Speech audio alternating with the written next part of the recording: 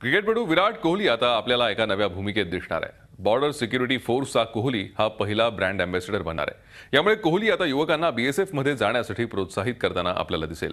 लष्कराच्या एखाद्या विभागाचा ब्रँड अँबॅसेडर बनणारा कोहली हा चौथा क्रिकेटपटू ठरला आहे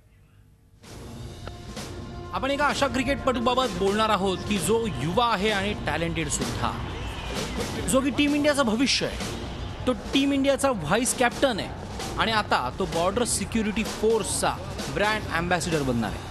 अर्थातच आपण बोलतोय विराट कोहलीबाबत.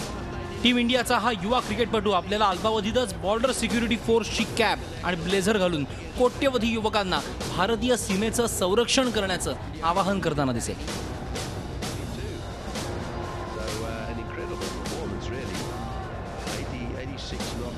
पॅरामिट्री फोर्सेसकडून प्रथमच अशा प्रकारे ब्रँड अँबॅसिडरची नियुक्ती करण्यात येणार आहे.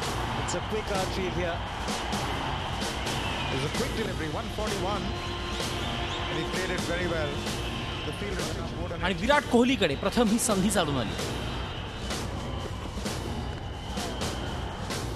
क्रिकेटमधील त्याच्या कामगिरीमुळे तो अनेक युवकांचा आयकॉन बनलाय. म्हणूनच तो युवकांना देशाच्या सीमेचं रक्षण करण्यासाठी प्रोत्साहित करेल या उद्देशाने त्याला ब्रँड अँबॅसिडरचं पद बहाल करण्यात येणार आहे.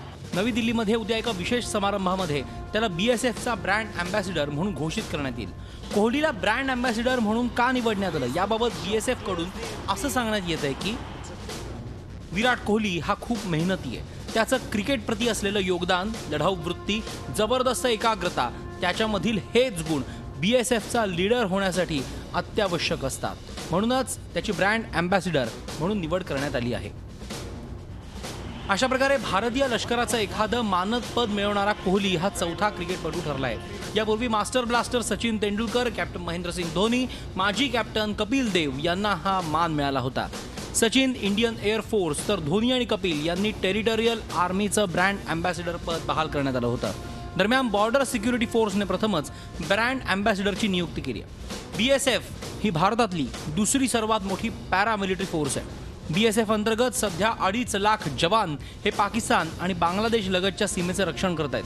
त्या कोहलीसारखा लोकप्रिय आणि युवा क्रिकेटपटू ब्रँड अँबॅसिडर झाल्यावर देशातील कोट्यवधी युवकांमध्ये एक प्रकारची प्रेरणा निर्माण होईल आणि ते देखील सीमेच्या रक्षणासाठी बी एस एफमध्ये दाखल होतील अशीच आशा त्याचे चाहते आणि बी एस एफ बाळगू नये Zee media bureau report Mumbai. Zee चोवीस तास एक पाऊल पुढे.